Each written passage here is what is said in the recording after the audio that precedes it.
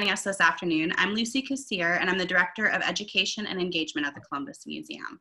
We're so happy that we can be together virtually for this artist talk since we can't be physically together at the museum right now. Joining us today are Jonathan Frederick Walz and Nancy Friedemann Sanchez. An expert on American modernism, Jonathan Frederick Walz is the Director of Curatorial Affairs and Curator of American Art at the Columbus Museum in Columbus, Georgia. In his previous job, he served as a curator of American art at the Sheldon Museum of Art in Lincoln, Nebraska, and this is where he first encountered Nancy and her work. With Seth Feman at the, at the Chrysler Museum of Art, he is currently co-curating the exhibition, Alma W. Thomas, Everything is Beautiful, scheduled to open at the Chrysler in the summer of 2021 before closing at the Columbus Museum the following year. We are also joined by Nancy Friedemann Sanchez, a mixed media artist originally from Bogota, Colombia. The large scale drawings that she has recently been creating allude to the late 20th century art movements of minimalism and pattern and design.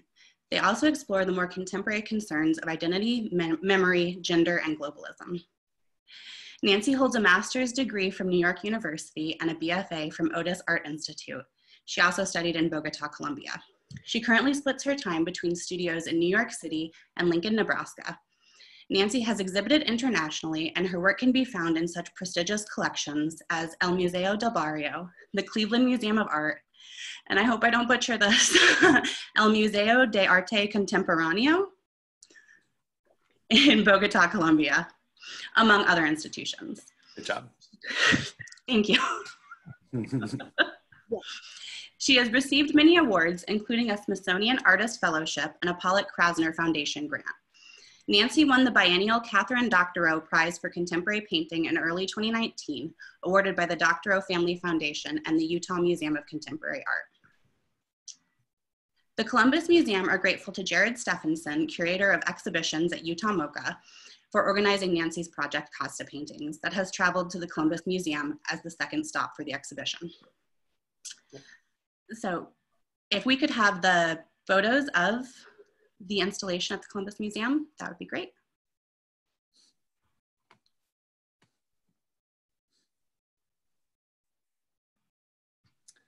While we're waiting, I'll just jump in and say thank you again to Jared at Utah MoCA um, for organizing the project um, and to Bridget Russell, who is Director of Marketing and Public Relations at the Columbus Museum, who's behind the scenes and helping us with images and all the tech stuff. So thank you, Bridget. We really appreciate everything you do.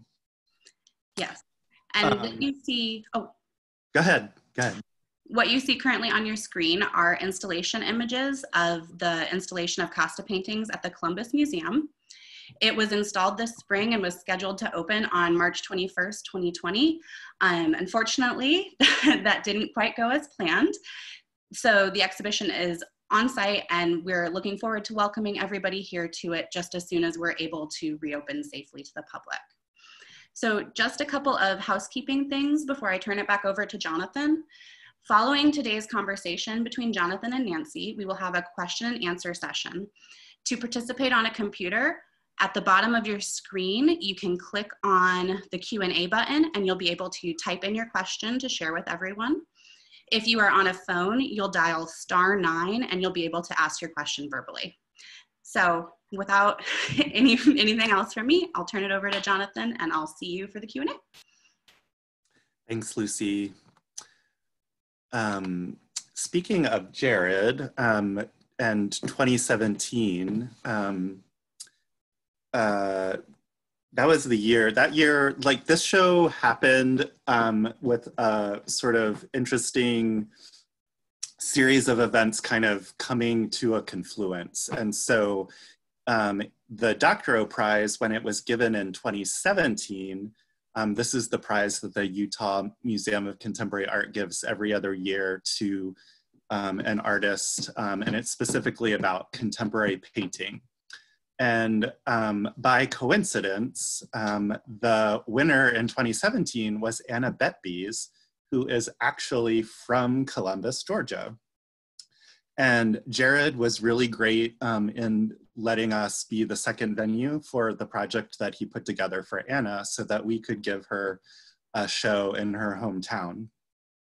Um, so of course, I was keeping my eyes out on what Kent, uh, what um, Utah MoCA was up to. In the meantime, in 2017, Nancy had a show at the Kentler International Drawing Center, which is in Brooklyn. And also coincidentally, the Kentler is run by Florence Neal, and she is also from Columbus, Georgia. So obviously, Nancy, you have to come through Columbus at some point because yes. everybody seems to be either from here or comes through here. Um, and so Nancy and I, I just happened to be in New York um, for a different reason, but I saw that Nancy was having an opening.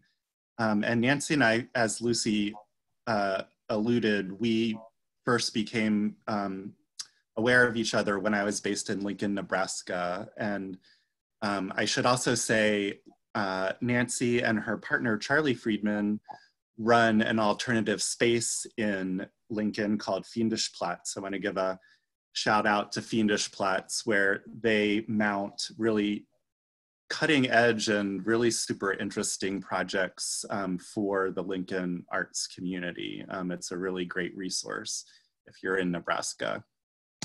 So 2017, Anna Betbeze and Nancy's show at the Kentler, and then flash forward two more years, and very happily, the Doctorow Prize goes to Nancy.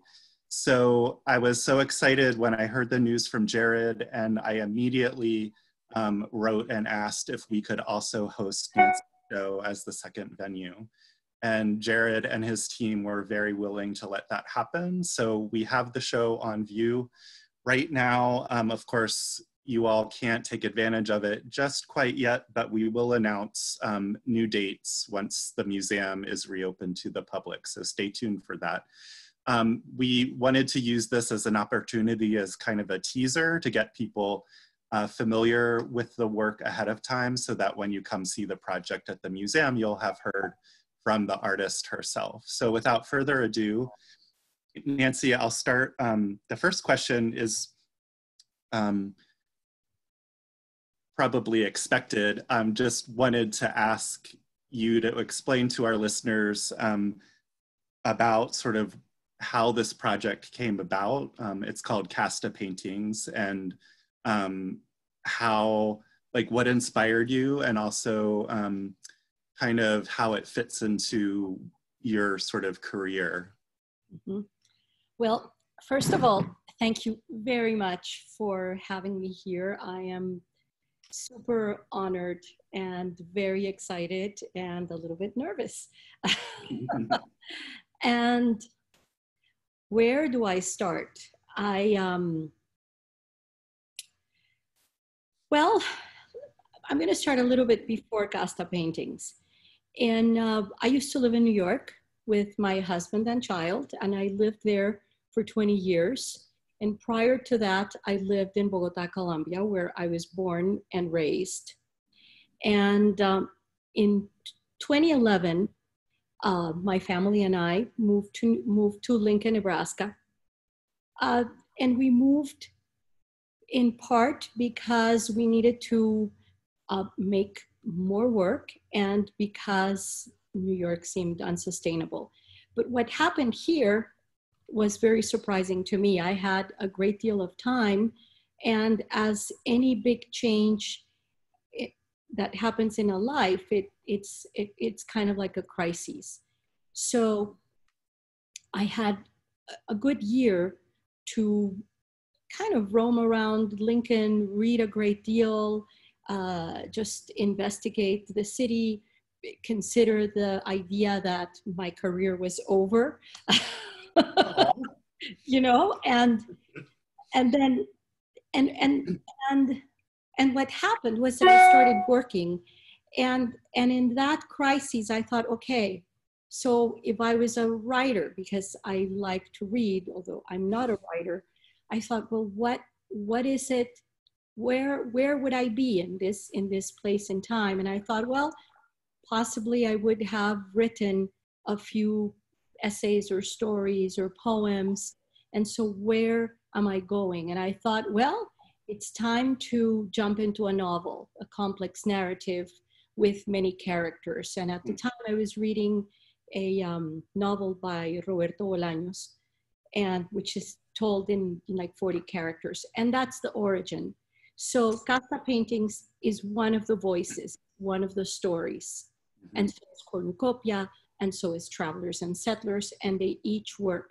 So Castas is a is a chapter, but mm-hmm. Castas has an origin that is very close to my uh, to my origins as a person that grew up in, mm-hmm. in Colombia as a descendant of, of the conquest and the colony by the Spanish in, in, in, in, in South America, in Colombia per se.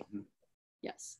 Can you talk about um, just briefly what so like how many chapters do you envision the novel to have? I am not sure. I mean, I I'm in the middle of it. Mm-hmm. So I I don't know, but what it what it has allowed me to do is to investigate topics that I'm interested in. Hmm.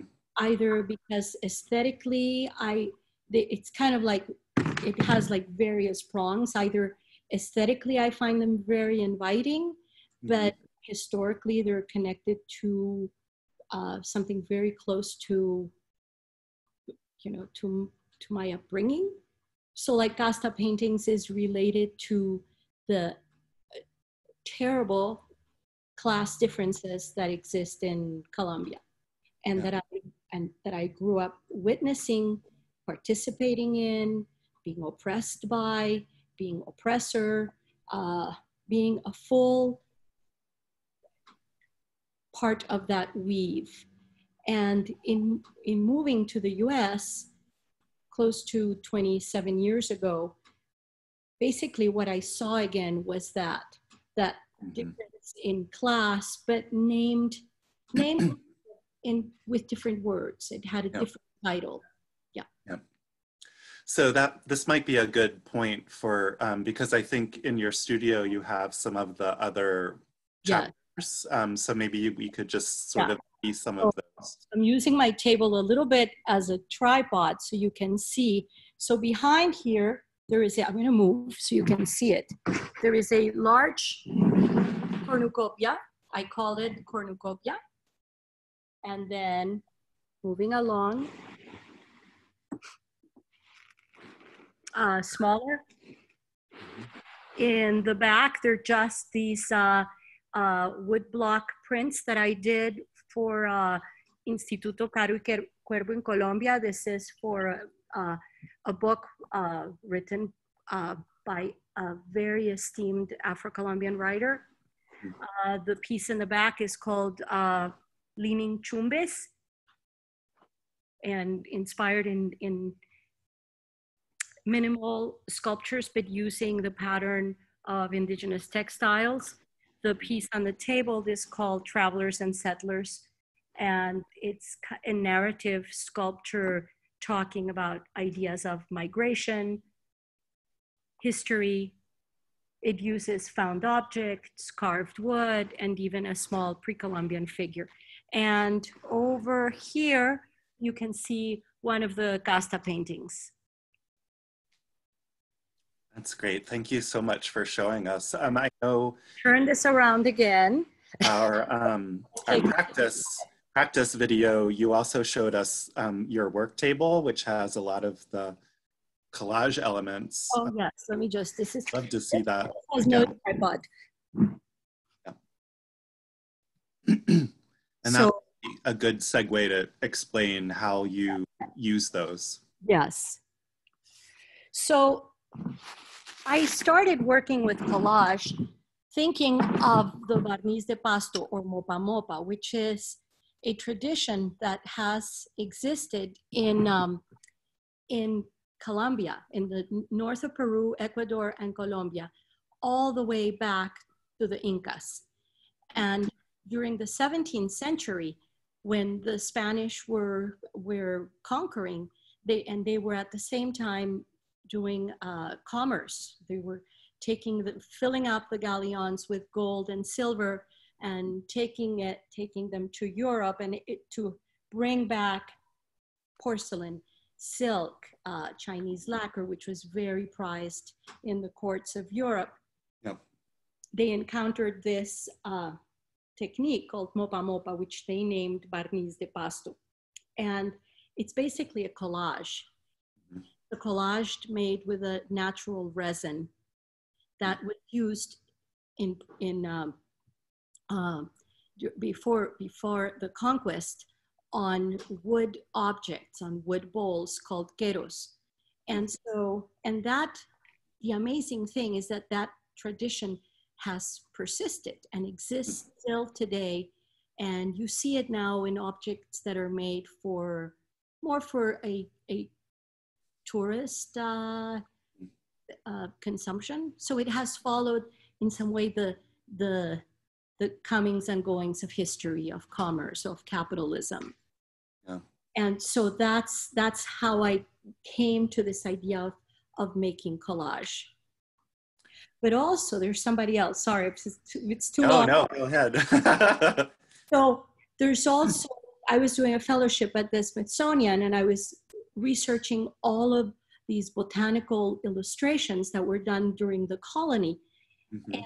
I found the work of this, aside those, aside those illustrations, which were done to record what the Europeans were finding and were claiming as their holdings. But along with that, I found the work of an English woman uh, because all my work is for me it's also it's through the filter of feminism so i found the work of this uh, uh, english woman who ascended to the court to being to in the courts of, of england as an artist and her work was following the the drawings that were that naturalists were doing and so she was painting pieces of paper and cutting them and making small collages. So it so it's I was looking at these two things, Mhm. in particular the mopa mopa, the barniz de pasto. There's so many things. So your work is so rich. Um, so many things to focus on. Um, one thing I was curious about that our viewers may also be curious about when they actually see the work is the materials you use are a little bit unusual.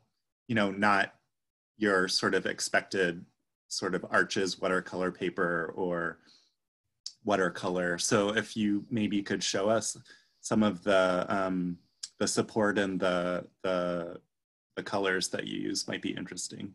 Yeah. So I work, whoops, I work with Tyvek. Tyvek is a material that is used for shipping. And since I have shipped myself so many times, many times migrating back and forth between the US and Colombia, I, and, and, and also to be able to make large scale work and to be able to ship it I looked for a paper that would be that would be acid free, that would be inert, that would function, that would be archival, that would not get torn in packing and shipping. And this is how I came. This is how I came to to Tyvek. But also thinking of of a contemporary material of how Yeah. to use how do you use the materials of your time. Just as Mopa Mopa was something that was taken by the Spanish to imitate something Chinese. Mhm. How to take a contemporary material to speak of a transcultural process from the past. Yeah. So that's that's how I came to it. Gosh, you're, I- I'm getting a little misty because your material really does sort of um, reinforce your your thinking through of ideas about how ideas move, how visual motifs move, how objects move, and how bodies move, like through geopolitical um, sort of distinctions, but also um, just geography and that kind of thing. And, and, and it's very much part of you too, as someone who travels back and forth to South America. Yeah. Um, I wanted to say something about feminism because that's something that really um, is close to my heart as well. And um, Lucy, of course, alluded to minimalism and pattern and decoration, but your work also um, relates to sort of might, we might call classic feminist art from the 1970s with um, materials that are sort of maybe more domestic. Um, so the mopa mopa idea, um, also sort of like how flowers and femininity are, are sort of elided um, together. Um, and also these kind of um, almost taking sort of the everyday and um, domestic uh, kinds of craft and making them like on this monumental scale, right? And so that's something that really drew me. I, I, I'm, I have to admit, I'm a special fan of the cornucopias. I just find them so rich and so beautiful and so intriguing because there's so many kind of things to look at. Um, and that was something that really drew me um, in your show at the Kentler. Like I just immediately fell in love with the cornucopia that you had there. And if you remember, I was thinking, oh my gosh, like I love this so much. I need to to take it to um, Columbus. Um, and if folks at home know the museum space, before we commissioned Jarrett Key to make a, a mural um, for us, um, I was thinking of this cornucopia piece as something that could um, be displayed in the, the, space that we have um, Jarrett's piece in now. Um, could you maybe like because you have a cornucopia behind you could you maybe point out some of the small things that might not be noticed right away um mm-hmm. viewers yeah maybe i'll maybe i'll move so you can see it so Yep. you can see it yeah oh, sorry uh, it's showing something else in the process so so this piece is uh, 80 by 160 inches wide. And I, I, yes, in terms of theme, I'm very interested in ideas of the domestic because it's all, it's again, it's about, it's about the caste. It's about where the, the hierarchy and where these, uh, where these images stand in relationship to hierarchy. So the handmade, I would say, on our world today, in some level, uh, is kind of at the in the lower part of the totem pole, mm-hmm. and I'm mm-hmm. interested in that. Same with the still life. You know, historically, mm-hmm. the the landscape are are have been more uh, prized, more mm-hmm. appreciated. So so I think those those elements, and then of course nature. Nature has been at the bottom of our of our totem pole. We're we're destroying our planet. So I think I'm I'm interested in referencing that. And a cornucopia is a is is an abundance. It's it's this idea that it's it, that it's eternal. But some of the figures here have uh, I have these uh, these shooters you know, shooting shooting at flowers, the absurdity of that, you know, the absurdity of of uh, shooting at nature. And all of the imagery is researched. So I have looked at every flower that appears in a cornucopia. I have investigated it in a, in a decorative object mm. from the colony. And that and so but those those images from the colony came they were they were hybrids. They were they were the images that were coming from asia with the mm. images that were coming from europe and which were commissioned to local indigenous or, or creole artisans to make and the result of course is is a completely hybrid iconography. Yeah. So I think my job in this is to continue that hybridity. Mm-hmm. What happens in history as you as you keep um, as you keep revising history and and and making into the future. It also makes me think, speaking of sort of flowers and travel across borders, how in our current sort of capitalist economy, you know, we don't in North America really think much of going to the grocery store and buying flowers out of season, but really those flowers are being grown in the southern hemisphere and then brought across all of these borders and um, you know sold in the United States. So there's another layer yet embedded in sort of um, your imagery, I think. Um, so we do have a cornucopia at the museum, but um, most of the work is from the Casta painting series. So maybe Bridget, you could. So I'll come back in, yes? Yes. Bridget could show some of the images and Nancy, maybe if one of them in particular strikes you, you could make some commentary.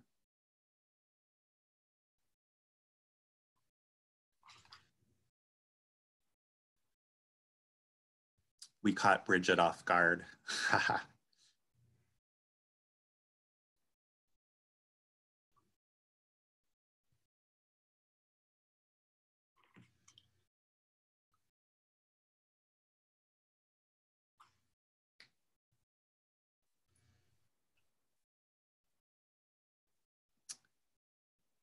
well, while we're waiting, there we go. So these figures um, include these sort of bodies with multiple limbs and um, you also incorporate in three dimensions um, these masks that you find and buy and these Spanish combs. Yeah. So, so the, the casta paintings is a genre of painting that started during the the during the colony. Yeah.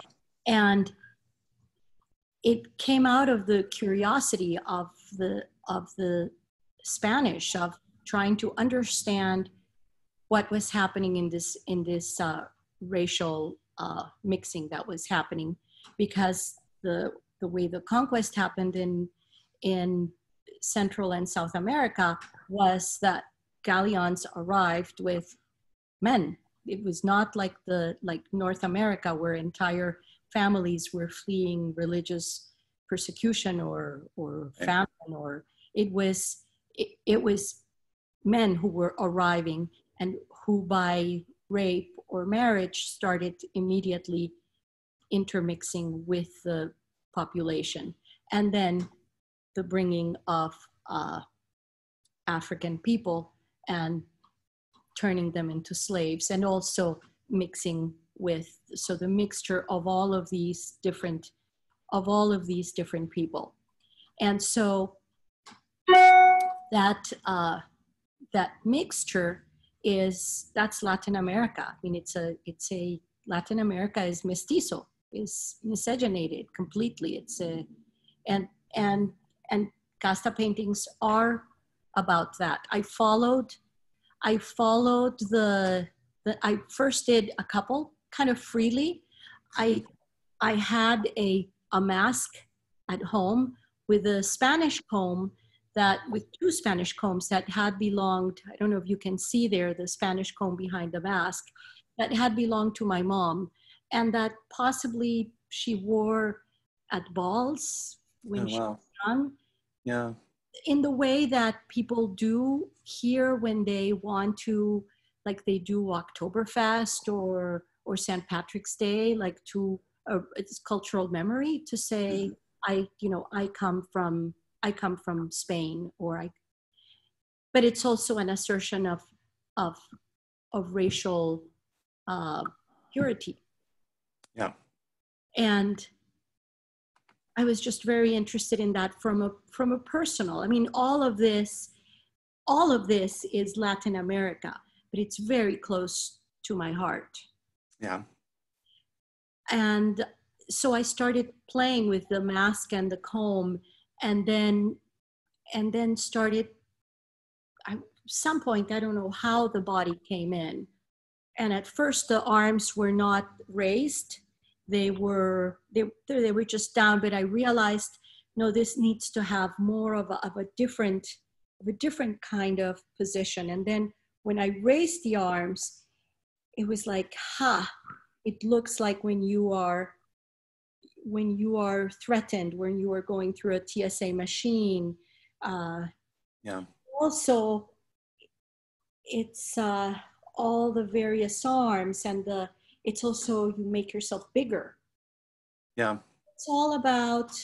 It's about that ambiguity and that you know it's the oppression, the oppressed. What I did not want was for them to be sexualized. Mm-hmm objectified. So I made the figures more like maps. But mm-hmm. yeah, maps that speak more of land, of water. I love how, um, of course, folks at home can't see very close up in person, but the just the way that you've layered the different colors of ink, I find really seductive, and um, the the back the black background is just so dark.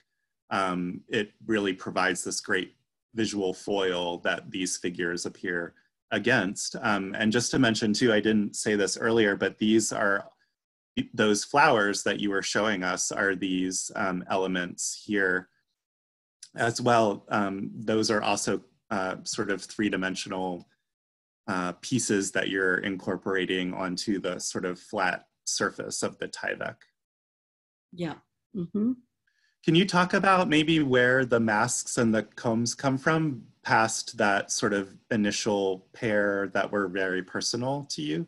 So I realized, like, okay, if I'm going to do the 16 castas and I follow the historical formula, well, where am I going to find them? So I went to eBay. So I, I used the contemporary form of transaction. Uh, but what I found was, in some cases, kind of heartbreaking because they're pieces that you know belong in museums. They're, they're mm. masks that are, that are, I can't believe that this is in like somebody's shed or. Right, right. Yeah. So it was a bringing it out from from the rabbit hole of eBay and and giving them a place of honor again.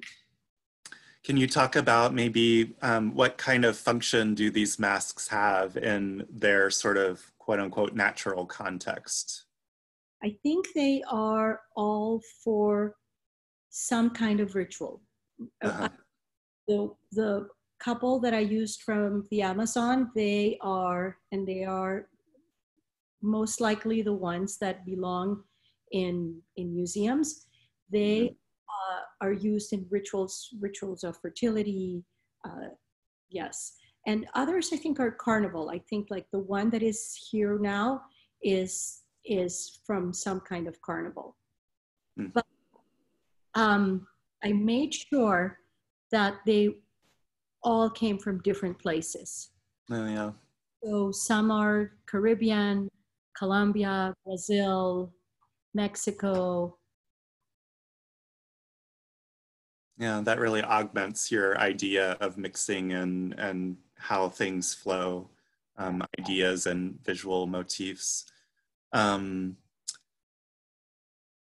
I'm, I'm intrigued by the combs too. Like those were just on eBay or did you go to a special place?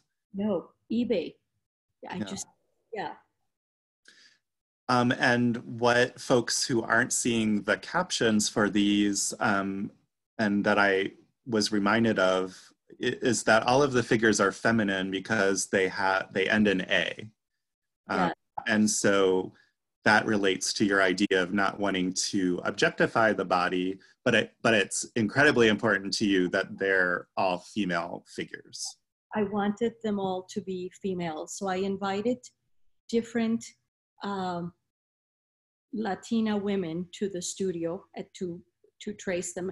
And I I first, I started with me, and then mm-hmm. traced my daughter, and then close friends, and then gradually just started started kind of branching out from there. Then people would you know some women would trace other other women and it, it was just all very just very uh, organic in how it grew yeah so maybe now's time um, we'd love to hear from the audience um, comments or questions for nancy or me or nancy you could ask me a question um, we'd love to have some interaction with the folks at, at home. And maybe um, Lucy, you can jump in and be our moderator. All right. All right, I'm back. Possible to see everybody else? Yes. All right. So if you have some questions, you can leave them in the chat. It looks like our first question from Anne Stagg is, can you talk about your color palette? Well, uh, yes. The, the background, which uh, in most cases is black, is inspired in the religious paintings of uh, the colony and that drama that occurs in those paintings. And often, many of those works are religious and they function as uh, kind of teachings. They would hang in churches or, or they had a they had a kind of pedagogical uh, objective. So the background comes from that, but also I was very inspired by the minimalist drawings of Richard Serra. Mm. So I think of those, but I think of those that that that color and that background as those kind of sort of authoritative uh, figure. No, one is a, a, person, is, a, is an artist, which is also synonymous of something that is North American, of a time of, of empire relationship to a different empire, which is the Spanish Empire. Mm-hmm. But masculine, patriarchal, it's a dominant ideological umbrella. So that that so my background is thought of in that I, I chose that very kind of I, I knew exactly why. Mm-hmm. color palette, I, I wanted close to the color palette of of uh, of the indigenous works and also of that Spanish colonial painting. Yeah. Maybe while Lucy's looking for the next question, um, I know we have some students um, who are attending virtually with Professor Hannah Israel, who's teaching a experimental drawing class at Columbus State University, which is here in Columbus. We often do collaborations together. Um, maybe you could talk about if you, um, having gone through art school yourself and now like sort of mid-career, looking back at your art school self, maybe something you would tell that person's for for the students that are that are listening. Well, I would say I would say it has to be very personal. It has to, the work you make has to be really something that, you know, that gives you some pains. Uh, others mm-hmm. and I would say the other thing is like never stop studying. Yeah. That's great advice. Lucy, got some more for us?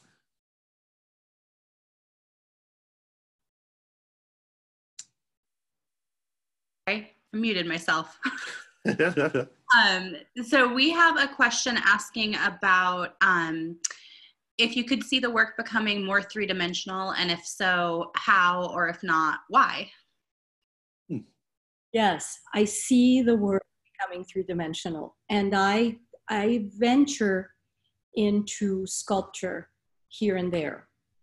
My mainstay is two-dimensional but when it when things start getting a little bit when i start just kind of you know like it staying in place like the wheel is not going anywhere oh. I, try to go into a completely different direction and often it is sculpture hmm. yeah but i would not consider myself a sculptor mm-hmm. by any means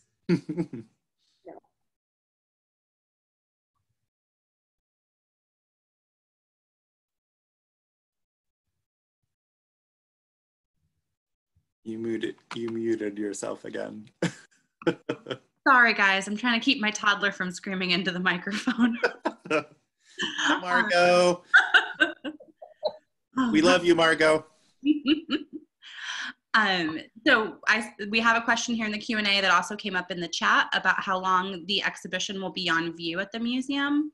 So once we know when we're able to reopen, we'll announce a new closing date for the exhibition. We're hoping to get a similar length of run time as we had originally planned. So it should be yep. extended past the closing date. We're still working on all of that. Yep. Um, so let's see. We have a question here in the Q&A saying that the cut paper of the collages reminds them of, and I apologize for my pronunciation, the Ajakti figures of the Nahua people in Mesoamerica. Um, this was something that was used by shamans to drive away evil spirits that could harm the village. And Danielle's asking if this was part of your inspiration, Nancy. Well, I look at indigenous art all the time. So uh, I look at the Ticuna drawings, some of the, the the, the bark pieces from the Amazon. And I mean, definitely. I mean, have I looked at the at, at those particular works to study those works? No. I have looked um, like when I was at uh, at uh, uh, doing this fellowship at the Smithsonian, I visited the, the American Indian Museum there. And one of the things that that I was just absolutely marveled was that there is such a huge um, there's so many common denominators between yeah. the Inuit all the way up in, in North America to to Patagonia. Yeah. Suspended figures, uh, kind of like a, a picture plane with suspended figures that go around. A, the geometries are, are very connected all along. So that interests me very much.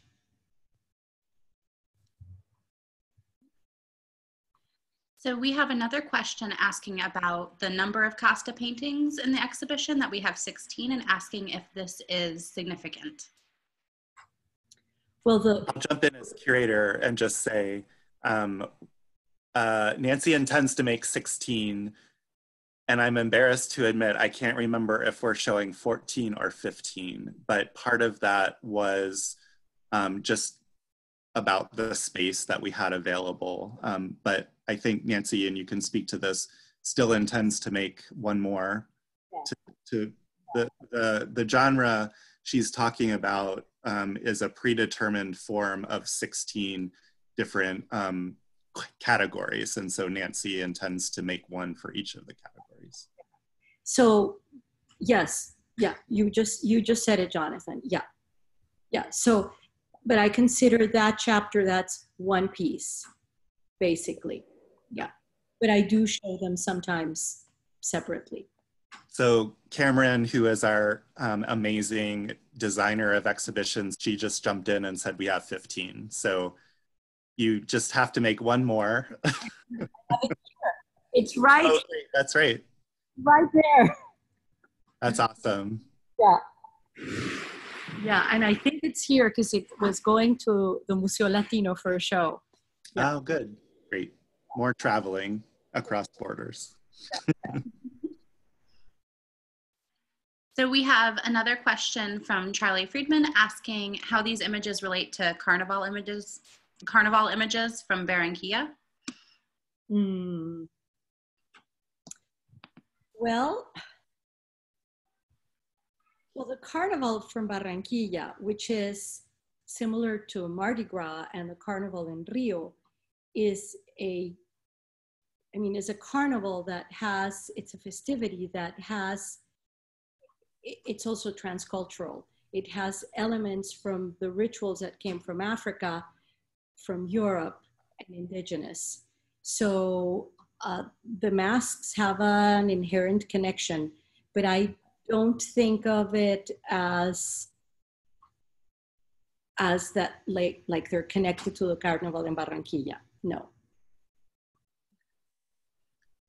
Connected because historically it's they're hybrid, but all right. We have another question asking about what the woodblock works are are what are the woodblock works for? Yeah. Are they used in the collages and do you use any other traditional print methods? Well, this is a project that I just finished and it's going, so it's a collaboration with uh, Caro y Cuervo in, in Colombia with the text of Manuel Zapata Olivella, who uh, is a, a, a well-known Afro-Colombian writer uh, who writes uh, novels and stories of the Afro-Colombian experience. So that is going to go in, it, it's already, I mean, it just got published. It's going to all the public libraries in Colombia. And I wanted that project to be done in woodblock because woodblock is a kind of I the way I see it, it's very brusque. There is your your your you're attacking a piece of wood. It, it has an inherent violence, and the story behind is a is a story of violence and of human drama on you know on on a river. So so that's why I use the the wood block. So I but it was just specific for that, and it, I there was a whole learning curve. And I worked with a great studio here in Lincoln called Constellation Studios. Oh, yeah, our friend Karen, who runs that. And um, Karen was very kind and donated three pieces to our museum collection a couple of years ago. So we're familiar with her and her work. She does a great job at Constellation. Yeah. No, that was that was fantastic. Yes. And so another question that we have is how did traveling with your mother influence your work? My mother was an anthropologist and I spent my childhood going with her to to well the places where she was doing her work one of them was palenque de san basilio which was a maroon a, a, a town of, descendants of escaped slaves. Mm-hmm. That was uh, an hour away from Cartagena in the, nor- in the north of Colombia. And my summers would be, instead of going like many of the other children from of my classmates that would be going, you know, to spend the summer by the pool, I, I would be, you know, just following her in Palenque, also in uh, in Barbacoas, which was a mining a mining town, an Afro-Colombian mining town on the on a river, on the Telembí, which was a river close to the Putumayo. So all of those, I think, I think the the contrast of spending my childhood vacations being witness to the hardship and the the not only the hardship, but other lives, how other people lived, Mhm. and the richness of it. And then going back to, you know, to Bogota, to an urban environment where uh, just people lived in a different way and we're and in a society that was just trying, you know, society that fights uh, itself a great deal. I think that all of that has has just left a mark. And so Vanessa asked, she said that she's interested in hearing more about the irony of having the flamenca comb on the indigenous masks. And she mentioned that um, it has a very deep ritual charge on the body that resembles almost an aura with the flowers. Yes. Yeah. So I think the mask, the mask, it also wears as a, its femininity, but it also wears like a crown. So one is placed on top of the other. So I think between the mask and and the comb, you have the push and pull of oppression and oppressor, all in that. In that, uh, yes. Yeah. Right. We had another question asking about the Tyvek background that you use. Does it come black or is it painted? It comes black, but I paint it. Okay. All right. I think you can really see that in person. Like the there's a real richness and depth to the black. It, you know, it's it it sort of shows that it's not just one layer. Like there there is a real richness to it. That's beautiful. And I fold it. I don't know if you can see that, but I, I fold it to resemble a quilt. Hmm. And in that quilt, I think of the Midwest, of the prairie, of the US, of that other form of migration, and that Yeah. other form of feminine expression. Um, Christian would like to know what school you went to in Bogota. I went to Universidad de los Andes.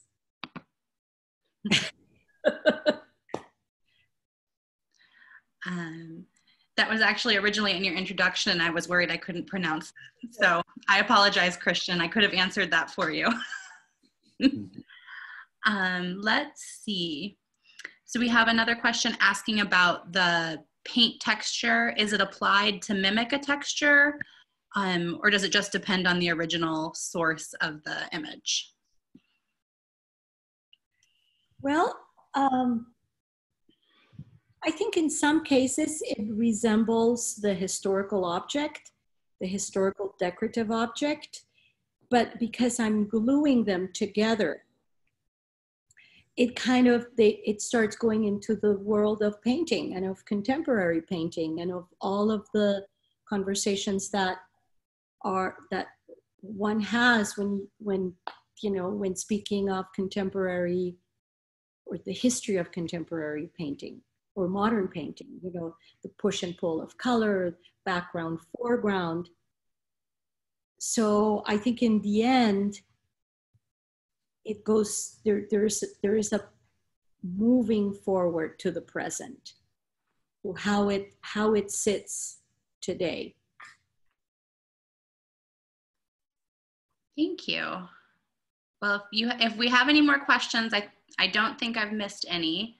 Um, but if you have any more questions, please share them with us. We've got a couple minutes. Um, I'd love um, if maybe some students from Hannah's uh, class wanted to ask Nancy a question.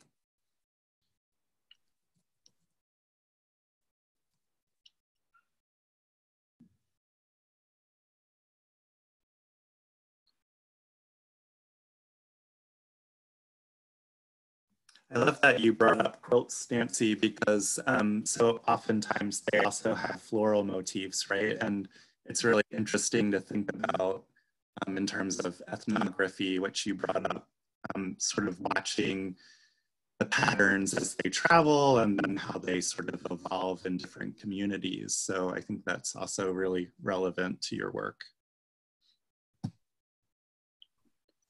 Yeah, I think so. Mm-hmm. Mm-hmm. Thank you. Yep. Um, so we just had another question from one of the students, um, from one of our CSU students. How do you stay motivated in difficult times? Not pertinent to today at all. That's a great question. Okay, well, in extraordinary times like now, like uh, it's okay, it's been I think the last month, I think, has been very difficult for everybody. I, I imagine everybody here. I, um, if this was not, I, mean, I don't think the last month I have been incredibly motivated. I have been going on with, with working, but I wouldn't say like doing creative breakthroughs. No, uh, I think it's been. I think it's hard. You just, you know, you're just hoping every everything gets better mm-hmm. and, and um, this thing is contained and we can go back to a sense of normalcy and but on normal normal regular times i would say by moving from one thing to the next. So like when somebody asked me about sculpture it's like okay do something else. Try a different material. Carve some wood do a do a do a learn learn a new technique learn woodcut how is it if instead of because like the working with inks making making these collages it's a very swishy process it's mm-hmm. very you know the it's kind it's sensual the ink goes it it's very kind of it's even a little bit emotional and expressionistic but it's soft it's not and doing the project for this book oh boy, that was a left turn. It's like you, you take this thing, okay, make sure you don't cut yourself, uh, put some guide so the wood doesn't fly out and your tool doesn't fly out. So I think so, very often doing a left turn or stopping and reading, writing, writing, doing an application, writing for a grant. So which means revising, reading what is it that you're doing? Because it's not only the manual process it, there's always a there's always the intellectual work that goes behind that pushes the work. It's like one pushes the next. You know yeah. you break through formally and then at some point it kind of stalls. And then you have to go back to okay what is this about? Yeah. If that doesn't work okay then something else. But I would say movement, action. So I see we're we're close to our hour, but Nancy, could we keep going? I think we have a few more questions. I'd love to be able to sort of um, have you respond if possible. Yes. Um, so we had a question saying that actually the question about school in Bogota was asking about K through 12, not university. Well, okay, that's a very revealing question because it relates to uh, it relates to my summer vacations. My elementary school was in a bilingual Swiss school where I it was a a school that was very preppy and I learned to speak French and math in French and all of this and then the the contrast was those those summers, the summers in, and I and I think that left a huge impression. And my high school was in a public school. It my parents went the other way. They said, "Okay, this didn't work out. Uh, let's try the public school." So I went to a, a school called the first one was Helvetia, and the second one was uh, Instituto Pedagógico Nacional, and that that's where I graduated. So I had those two those two experiences. Yeah, but that's that's a great question because I think it's in your origins where so much so much uh, is germinated, is conceived. Mm-hmm. Um, so going back to the idea of the Midwest and the full the quilt folds in the Tyvek. Is the Midwest represented in any other ways in your work? And that this uh, this person recalls that the Midwest and its theme of dislocation was in some of your pieces at the Lux. Yeah. I would say that my root is Colombia. Definitely. Uh, I don't think I would be able to think of Colombia in the way that I think about and think of migration and displacement and transculturality and if I had not moved. And I have done a couple of pieces that represent a little bit uh, Nebraska. Uh, I did a, I, I have a piece called Anonymous, which is, uh, which is a, a found object placed on a, on a kind of minimal, minimalist pedestal. But I would say that my, aside from the quilt, really my root, my root is Colombia. I mean, that's what, you know, that's the little thing.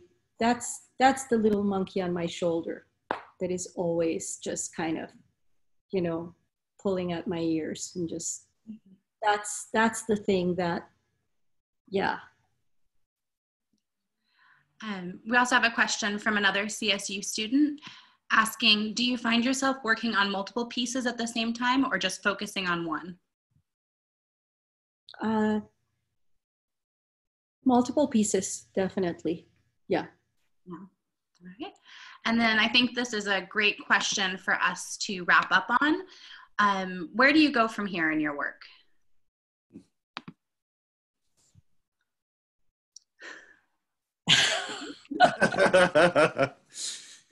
well, I That's have a question. visioning a sculpture, and it's not happening yet. I just finished the book. This was sort of my last, my last uh, project, and and I'm trying to get back into you know the swishiness of the ink, and it seems right now very foreign, and I don't know the, I think the pandemic is uh, very unsettling. Mm-hmm. Well, thank, thank, you so much for your time, Nancy. Uh, thank, wanted... thank you, Jonathan. This is great. And thank you, everybody. I can't see anybody's face. yes. I wanted to also say thank you to Jared Steffensen at Utah Museum of Contemporary Art, who put Nancy's project together and was very generous in letting Columbus Museum be the second venue. We hope you all will be able to experience the show. Um, we'll announce dates once the museum reopens, so stay tuned and we'll certainly be making announcements about that. Yes, and thank you so much to everyone for joining us today. And please check out our website to find more artist talks, resources, all types of good things. You can see our collection online. Um, and we hope to see you at the museum soon, but online even sooner. So have a great evening. Thanks, Nancy. Thanks, Lucy. Bye. You.